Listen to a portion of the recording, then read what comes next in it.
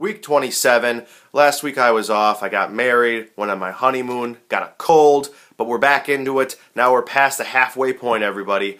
Wow, already halfway through.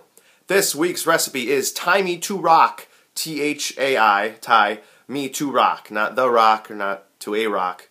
Not the best English, but we'll do it. And it's from DJ Allen in Bismarck, North Dakota.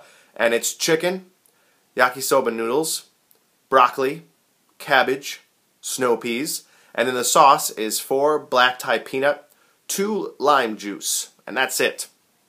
DJ, this was not a bad recipe. Uh, I'm not a huge fan of black Thai peanut sauce at all. It's not healthy for you. It tastes a lot like peanut butter and doesn't really have that ginger taste that I kind of like if it's a little bit like peanut butter. Uh, but I didn't mind this. I don't know if it was the lime juice or some of my palate was clogged or what was going on. But this is not a bad recipe. I enjoyed it. It was different. Uh, you know, a lot of stuff I liked, and I, I don't know, maybe the lime juice add that sweetness at the end, so that you had a lot of this the the peanut butter type taste, and then a little bit of jelly. Maybe it was like a peanut butter jelly sandwich, and I don't even like those.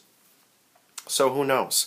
Uh, anyways, uh, keep them coming. I'm going to try their new sauce next week. They have a sesame sauce, HuHot right now, through July, I believe. So I'm going to try their recipe that they have next week. So uh, keep sending me recipes. I'd love to try more. Otherwise, I'll keep doing the contest winners. So, signing off.